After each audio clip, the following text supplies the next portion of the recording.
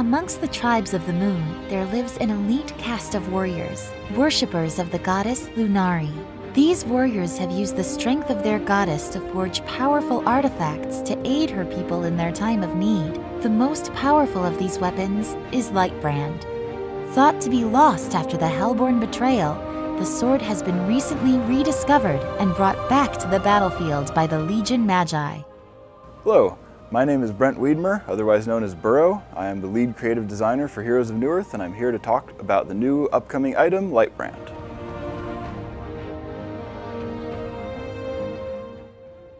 Lightbrand's inspiration came from the other two brands, Icebrand and Firebrand.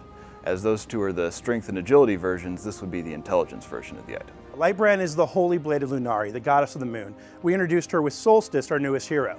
Um, the actual blade itself was recently rediscovered uh, by the Archmage of the City of Iron. The, the location was hidden in a Neophyte's book.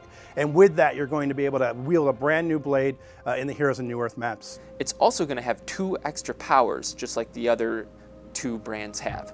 One of the powers of the Light brand is going to be a flat mana regeneration, and the second power will be a stacking dot damage that will be applied every time you attack. Accompanied with Light brand would be the buildups, just like Firebrand and Icebrand build into Frostburn. Lightbrand will combine with Firebrand to build Burning Light, and it will combine with Icebrand to build Frozen Light. What I'm really looking forward to with Lightbrand is very similar to what goes on with the Icebrand and the Firebrand. When you build both of them into the Frostburn, you then eventually split them up into the Frostwolf Skull and the Geometers.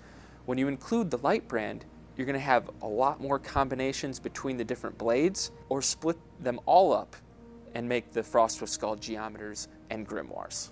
The Grimoire of Power benefits almost every hero in that it amplifies all the damage that the hero does. Spell damage, auto attack damage, even the dot damage that the item applies. On top of that, now you'll be able to combine all three brands into Dawnbringer, which will greatly enhance the capabilities of all of them. Uh, Dawnbringer is actually the three blades of the gods combined into one. We've already mentioned that the, the first Lightbrand is the blade of Lunari. What many people don't realize is that Firebrand is actually the blade of Sol, and Icebrand is the blade of Auralis, the god of winter in the north. When the three blades are brought together, forged in the light of the waning moon, struck by the first rays of dawn's sun and then plunged into the heart of the Aurora Borealis, it forms a blade that can be matched by few and will strike almost anything down. Past iterations of the Light brand included a lot of different effects, such as cooldown reduction and spell vamp, and none of them seemed to work out the way we wanted for this item to be a caster carry auto attack item. One of the first iterations that we had of Light brand was Spell Vamp.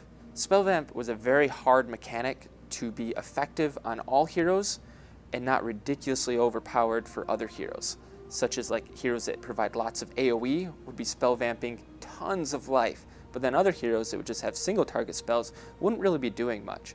So we quickly ended up scrapping the spell vamp idea. Light Brand was created as a complement to the other brands, made for carries and auto attack carries.